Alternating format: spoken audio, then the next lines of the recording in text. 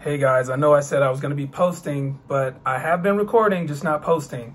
Business businesses have been crazy lately, so we had this Black Friday sale through this Cyber Monday, so I haven't been I haven't had time to upload all my videos. Um, I am gonna upload these videos after I post this dyno video. So you know, guys, that's what everybody wants to see the dyno videos, and I'm the only one who did a before and after, and the only thing that has changed is that I added the VT racing kit with the 61 millimeter pulley. So all this stuff you can get from VT. And other than that, nothing changed. Like my exhaust is the stock exhaust with the O2 or the secondary cat remove, which it was removed when I did the original dyno. And just like the air box, the only thing that changed was like I put a K&N air filter. So everything is the same. I mean, air filter is not going to make that big of a difference, but everything is the same on my original dyno um, versus this dyno, except I have the VT kit on there. Um, so I am gonna show you guys the 91 dyno. I do have two other dynos I will show you. Um, but before I show you those other two dynos, I wanna go back and post all the other videos I had leading up to this, all my mistakes I made. Um, there's a lot of things that I did that didn't work out and I wanna update you guys to show you how much I've been putting into, you know, improving the platform. And then after we get all caught up on that, I'm going to give you guys the higher numbers. So right now, the numbers you're going to see are not my final 91 numbers because um, me and the tuner are going to adjust some cam timing to add a little bit more power. Plus, also on these dyno runs, I was having a lot of belt slip with the original belt that came with the VT kit because um, most of you guys are running standard pulley. I'm running a smaller one, and this tune is a little bit more aggressive than the VT tune, as we all know. So these numbers, you know, with the, you know, the, the finalization of the 91 tune and the HD green belt that I'm going to be putting on there, um, I expect the numbers to be 5 to 10 wheel horsepower higher than what you're going to see on this dyno that I'm going to show you. All right.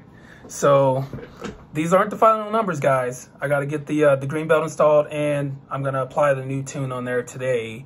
And like I said, it'll be 5 to 10 wheel horsepower higher because there was a lot of belt slip.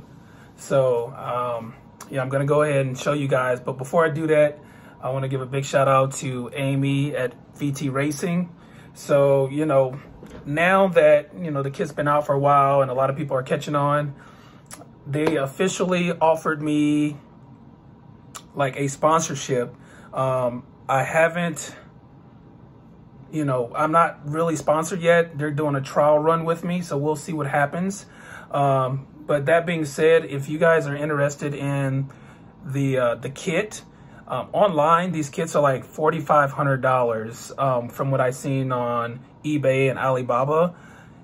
If you guys, you know, want the kit, I can get you a discount without even having to do the group buy anymore. So all you have to do is when you go to message Amy, which I'm going to give you her contact.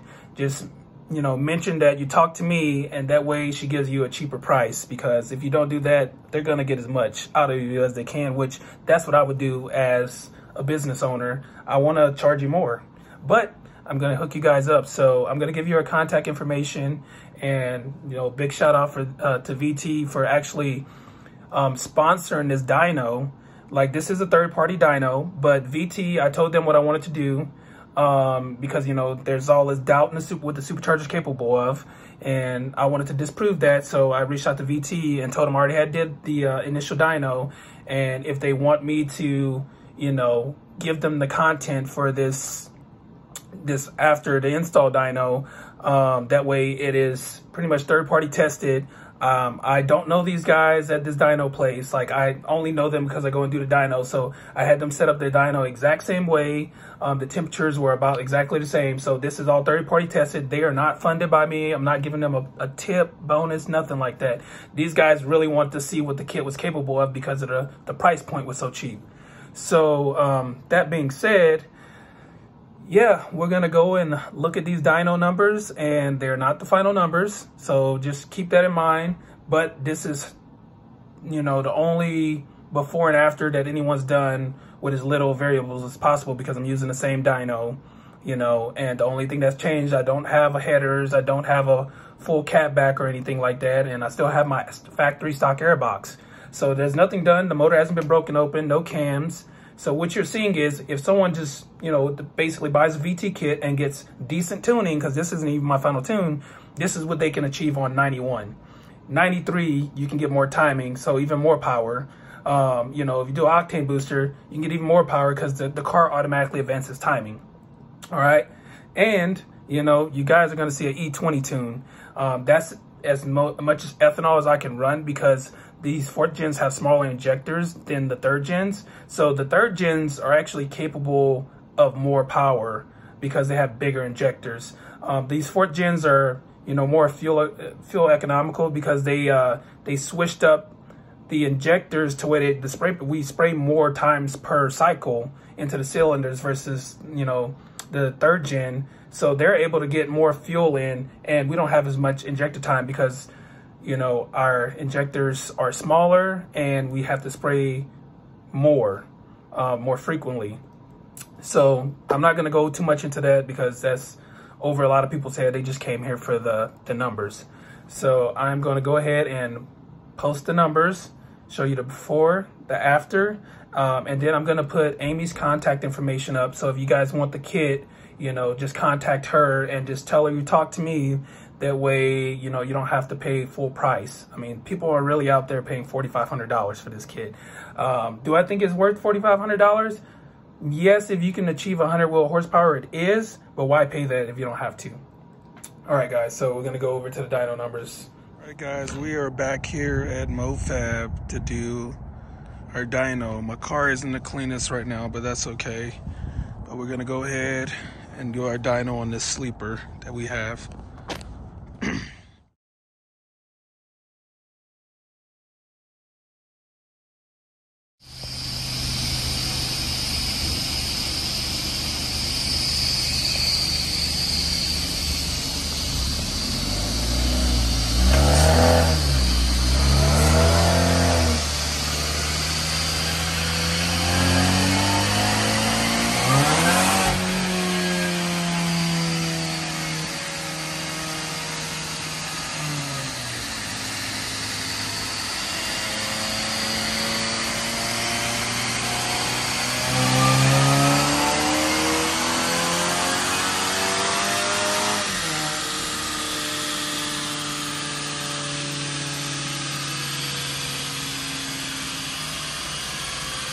That's what I'm talking about.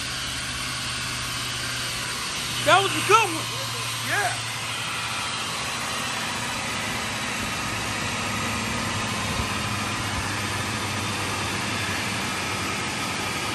Get another one.